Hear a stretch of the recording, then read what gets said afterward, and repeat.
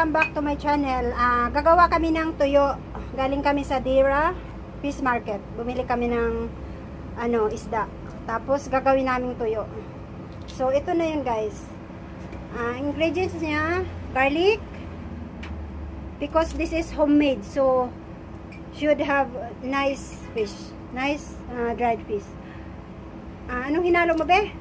Um, garlic, Garlic, black pepper, black pepper, uh, little salt, little salt, and um, vinegar. mm, vinegar.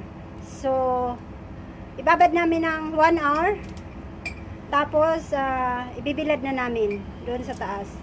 So, ayan guys, hinihimay niya yung garlic para daw mabango na tuyo. So, yan yun guys. Mm, 3 kilo. 3 kilo small fish. So, yun guys. Mamaya na lang kasi ibibilad pa namin. Ah, imamarinate muna namin siya ng 1 hour. So, ayan guys, natapos na namin yung ano, yung mixing. So, ibababad namin ng 1 hour. Yan ang ano, yan ang tuyo. Medyo malalaki siya eh. Bali, 5 lang. 5 dirham, 1 kilo. Bumili kami ng 3 kilos.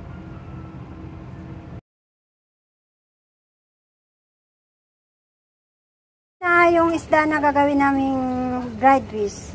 Nababad na siya ng 1 hour. Bibilad na namin ngayon. So, stay tuned.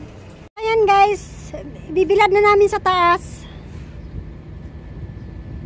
Yung dried fish namin. Ayan, naglalatag na sila. Ayan guys, natapos na kaming maglatag ng dried fish. So, ayan, nakabilad na siya. Sobrang init ngayon dito sa Dubai. Grabing init. Bali, madalian lang siya. One hour lang siyang nakababad. Then, ibibilad na namin. Tingnan na lang natin yung resulta nito. Kung masarap. So, yan lang muna sa ngayon guys. Hanggang sa pagtuyo ng dried fish namin. Yan. Ayan guys, ayan na yung tuyo na ginawa namin. So, pangalawang bilad na yan. Kaya kami bumili ng ganyan na isda kasi bumibili kami ng tuyo. Dito sa Dubai, may nagtitinda din, daing at saka ganyan. Sampo isang pack lang. Kunti lang siya. So, kami na lang nagtuyo ng ganyan. Yan. Ah, pang 2 days na ngayon na nakabilad yan.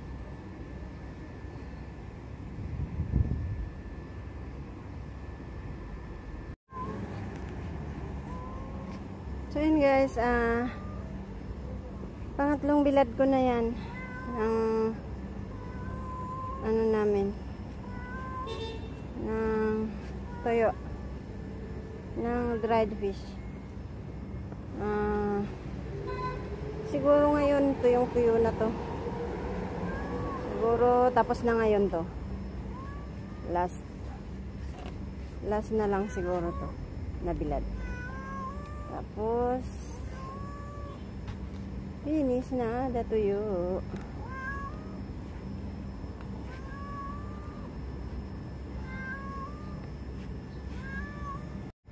Ayan. Tapos na ang pagbibilad ko ng pang 3 times na bilad sa tuyo. Ayan ang tuyo.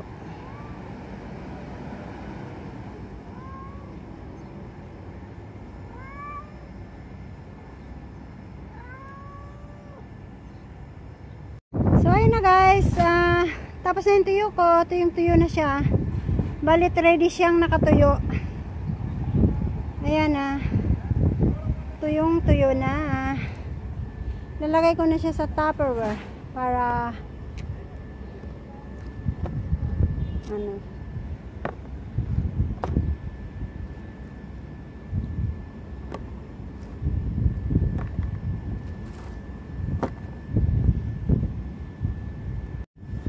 nakalagay na siya sa Tupperware.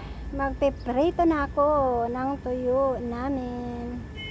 Titikman natin kung masarap. Ayan na, lulutuin ko na yung ginawa kong tuyo. Lagyan ko ng oil.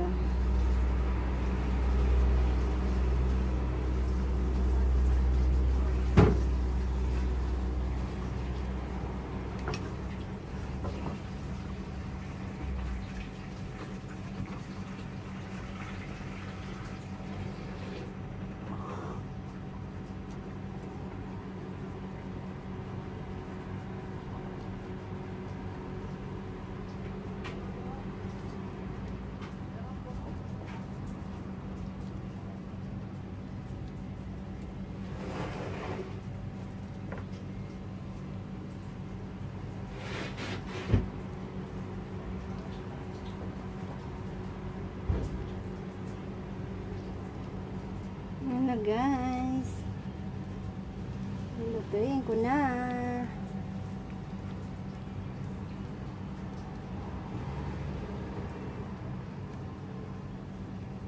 Ayan, luto na siya. Kakain na tayo ngayon. So, ayan guys. Ayan ang rice at saka yung tuyo. Kakain na.